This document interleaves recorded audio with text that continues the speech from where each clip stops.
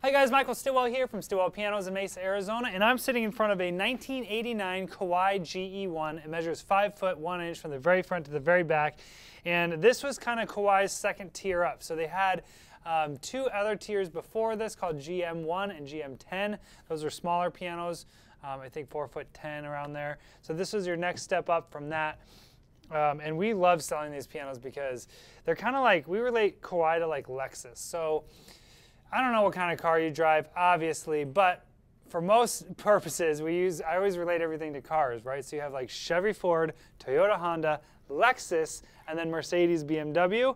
You guys will probably disagree with me, and I'm probably gonna get a bunch of YouTube hate mail from that, but that's just kind of how I do it real quick in the store. People are wondering where these brands kind of fall. So Kawai is a really popular brand, especially here in Arizona. It has a contract with the LDS Church, so they're in every single ward. Um, and the LDS population is very high here in Mesa. Um, so we see a lot of these Kawais. Now this particular one is in phenomenal shape. We have buffed the cabinet entirely, got all those surface scratches out. I rate this finish an A, and the only reason it's not an A plus is because there's a tiny little ding right here on this cheek block and a tiny little chip right here on the music desk. And I'm talking tiny and not noticeable. So it's very, very small. Other than that, this thing looks and plays and sounds brand new. I'm to play it for you guys.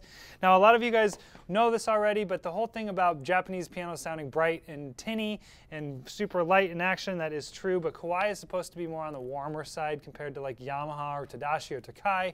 There tend to be a little bit more rounded tones, and the action is, tends to be a little bit heavier than the very light Yamaha action. Um, so it's kind of this weird mix where they're kind of hitting some of the marks of like handmade pianos where they're a little bit heavier, a little bit more warm, but they definitely have that Japanese like purity, clean, pure tone. So I'm going to play this for you guys. If you have any questions about any this piano or any other piano on our website, always feel free to shoot me an email at michael at stilwellpianos.com.